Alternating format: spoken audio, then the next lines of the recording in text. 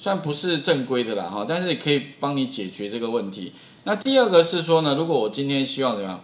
我希望哈能够旁边增加两个按钮，按下去之后呢，我们前面讲过，我希望能够先把啊那个公式丢到这边来，好，然后呢自动帮我怎么样？自动帮我把里面的结果给显示出来。但是我们丢的话，因为这边会跨工作表比较复杂，VBA 的程式比较难写，所以我们就丢公式好了。然后丢公式还记得吧？哈，丢公式的方式的话呢，一样哦，在开发人员里面。哎，我们先怎么 Visual Basic，然后呢，记得哦，因为我们这个时候呢，假设我已经开了两个档案，这个档案跟这档，所以你 Visual Basic 里面呢，一样会有两个专案，所以记得呢，你写程式不是说你看到 Module 你就把程式写在这边哦，你会发现写在别人那边哦，你记得哦，不是写在这边哦，应该是写在那个呃，就是。这个教师研习统计表的这个地方按右键哦，把它插入一个模组，好记得哦，因为我们如果要写在我们这个档案里面，记得要写在这个模组。再来的话呢哈，我们如果说希望怎么样插入一个程序的时候，不过你会发现哈，这个时候插入程序，假如我这边的名称哈叫做教师研习统计好了哈，比如说我这边的话给它一个名称教师研哎研习时。哎，打错，统计，OK 哈，那一样是一个 sub 了哈，然后呢，另外有一个是呃清除好了，那前面讲过哈，你可以怎么做呢？一定是跑一个回圈，那前面讲过就是 for i 第几列呢？等于啊等于第二列到它的最下面一列，当然你可以用什么？从 range 向下追踪。比如说从 A 二好了哈，A 二向下追踪的话，那点 end 哈，前刮弧，然后向下 SL 档点 row，追抓到它的列，然后 next，那做什么呢？把公式丢到它对应的这个储存格，那我们对应的储存格呢是 C 栏，所以打一个 sales，哦，刮胡的哪一列？好，所以先是列第 I 列，哪一栏呢？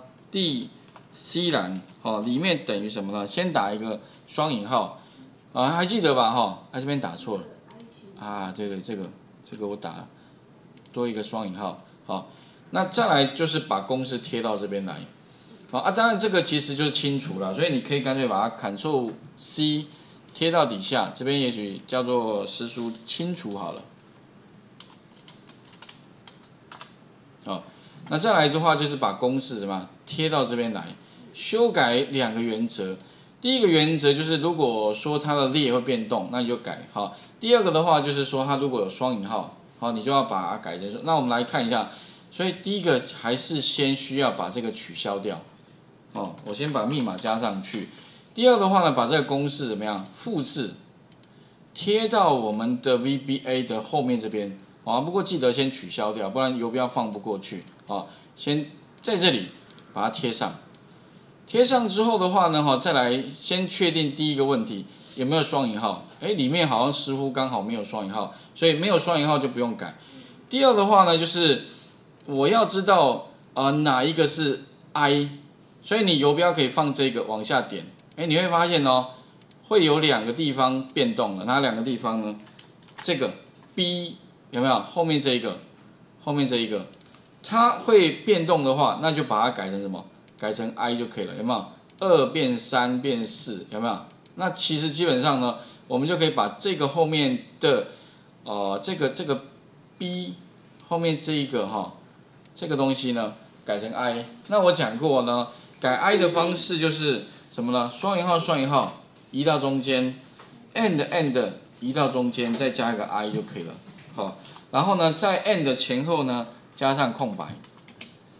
然后呢，做一个之后呢，如果有另外一个的话，再把这个双引号到双引号之间复制，贴到刚刚这个二就可以了。其实会变动的嘛，那它会二三四五六一直往下，那你就直接把它贴上，哎，这样就搞定了。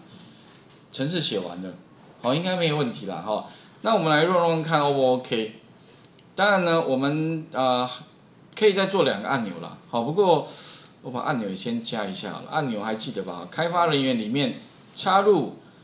表单控制这样的按钮，好啊，把它拉一下，然后呢，我第一个是教师研习统计嘛，哈，然后把这个加上去，因为这些有有些其实前面都有做过了，所以我是建议这些哈一定要非常的熟练，因为呢这个方式如果你熟练的话，那以后你只要 想要产生什么按钮哦，就其实非常快哦。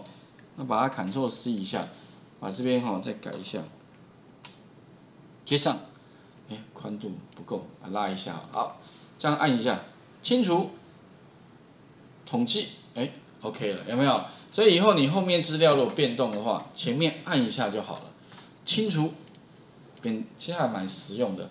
可是呢，会有个问题，什么问题呢？就是教育，再把它保护。刚刚是取消，对不对？现在呢，如果你把它加回去的话，那因为不能改，可是 VBA 能不能改呢？按一下就知道，清除，嗯，马上怎么样出现错误？为什么呢？因为这个范围一样是不能跟动，所以呢，如果你今天要丢一个空字串到这边，它一样卡住了。所以哈，接下来等一下呢，我们就要来讲，就是如何把 VBA 本来不能的哦，变成可以。那这个也是之前同学遇到的问题啊，因为他为了写 VBA，他如果不会动态的去掉那个密码，跟动态的加上密码这个叙述的话，它变成它就是不能加保护了，不然它 VBA 就不能执行。所以，如果说他要加这两个动作，该怎么做？好，这个我想等一下我们再来看好了，应该知道我在讲什么了哈。只是说这个保护跟不保护部分怎么做哈，请各位先试一下，就是。